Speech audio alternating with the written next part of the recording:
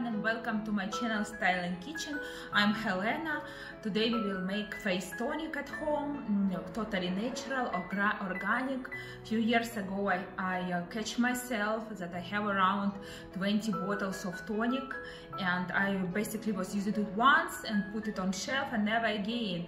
And many of them uh, start to be expired and uh, I start to think how come, why, and uh, why is they not fitting to me when I get organic. And uh, mm, that moment I decide to make it at home by myself uh, without um, some chemicals, without uh, some extra things that I don't need in tonic, um, and totally natural.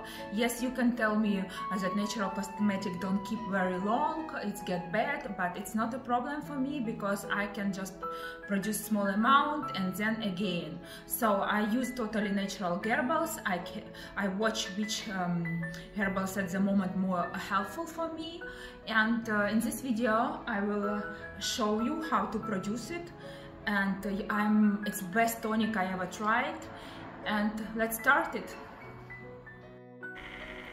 And we prepare our ingredients. I was choosing calendula herbal. Um, you can uh, pick up, for example, green tea for make tonic, or maybe just chamomile, uh, mint, uh, melissa, anything you like, rose uh, leaves uh, we take around um, 3 4 teaspoons of uh, our herbal. Um, calendula is amazing for take away redness uh, from the skin and it's also don't dry it and we put hot water around 200 milligram um, in our herbal.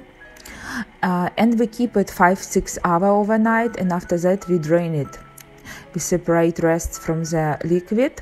Here you go. It's amazing tonic. It's one of the best i ever try.